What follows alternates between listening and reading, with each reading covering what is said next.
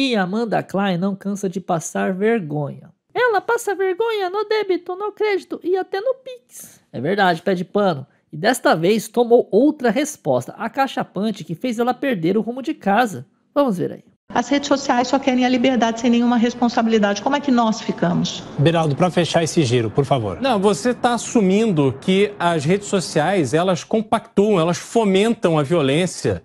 E isso não é verdade.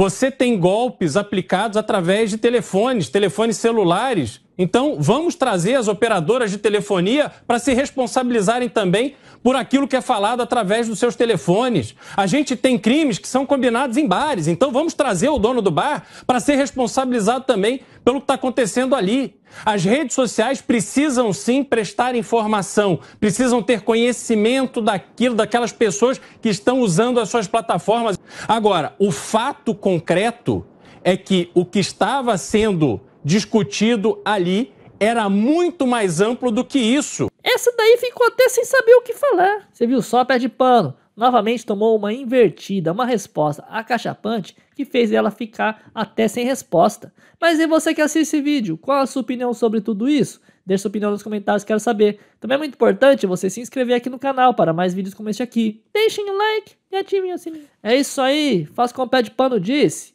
Muito obrigado. Acabou.